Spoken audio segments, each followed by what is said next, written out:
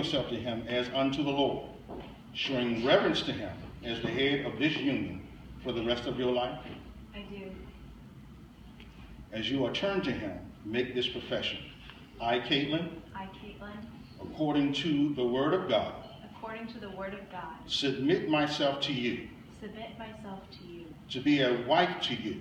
to be a wife to you. From this moment forward, From this moment forward, we shall be one.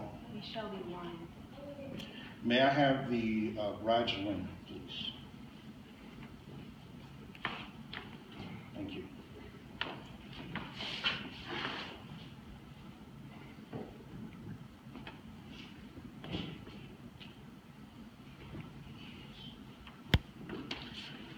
A ring is a very precious thing, a token of your faith and love.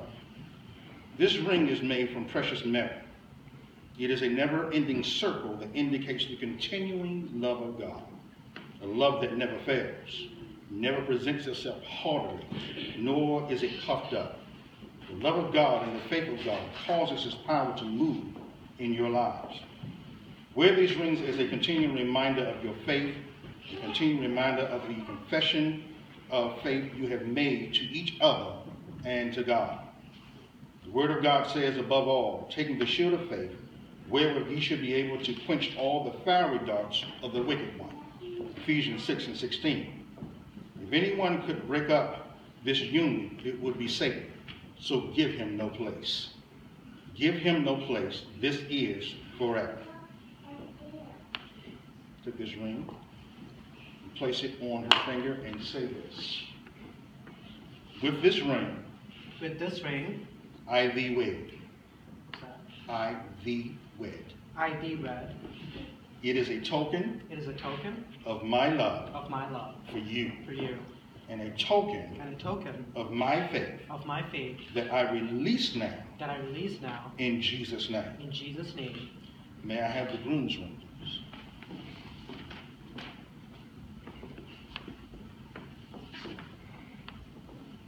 Thank you.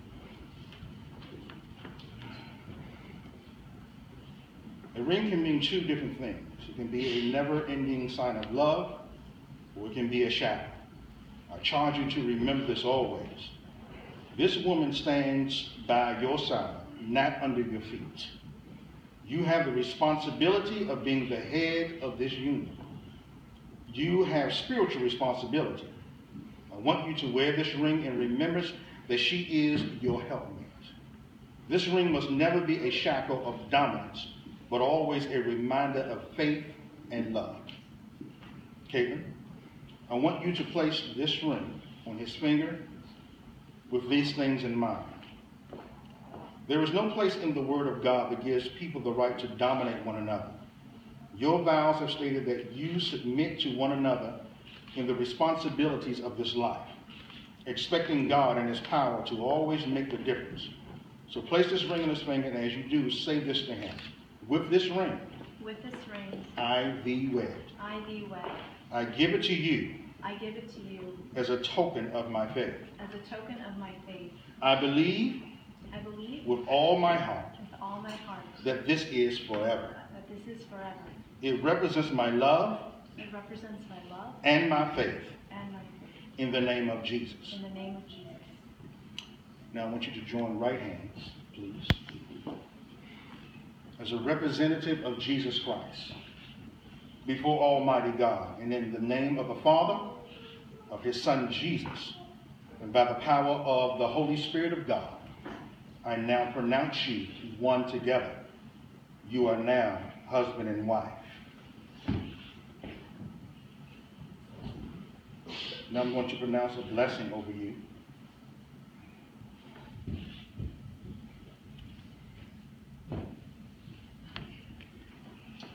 Galatians 3 13 and 14 says that Christ has redeemed us from the curse of the law, being made a curse for us, so that the blessing of Abraham might come on the Gentiles through Jesus Christ, that we may be heirs of the promise of the Spirit. 1 Peter 3 and 7 says, A man and his wife are heirs together of the grace of life. I'm going to read, read your blessing, your inheritance, your inheritance So listen carefully. According to Deuteronomy 28, all these blessings will come on you and overtake you if you are if you will listen to the voice of the Lord your God. Blessed shalt thou be in the city, and blessed shalt thou be in the field. Blessed shall be the fruit of thy body, and the fruit of thy ground, and the fruit of thy cattle, the increase of thy kin, and the flocks of thy sheep. Blessed shall be thy basket and thy store. Blessed shalt thou be when thou comest in, and when thou and blessed shalt thou be when thou goest out. The Lord shall cause thine enemies that rise up against thee to be smitten before thy face. They shall come out against thee one way, and flee before thee seven ways. The Lord shall command the blessing upon thee in thy storehouses, and in all that thou settest thine hand unto, and he shall bless thee in the land which the Lord giveth thee. The Lord shall establish thee an holy people unto himself, as he has sworn unto thee. If thou shalt keep the commandments of the Lord thy God, and walk in his ways, and all people of the earth shall see that thou art called by the name of the Lord, and they shall be afraid of thee, and the Lord shall make thee plenteous in goods, in the fruit of thy body, and in the fruit of thy cattle, and in the fruit of thy ground, in the land which the Lord sware unto thy fathers to give thee. The Lord shall open unto thee his good treasure, the heaven, to give the rain unto thy land in his season, and to bless all the work of thine hand. And thou shalt lend unto many nations, and thou shalt not borrow. And the Lord shall make thee the head and not the tail. And thou shalt be above only, and thou shalt not be beneath. If that thou hearken unto the commandments of the Lord thy God, which I command thee this day, to observe and to do them. Joel, I know you've been waiting for this time. You may now kiss your bride.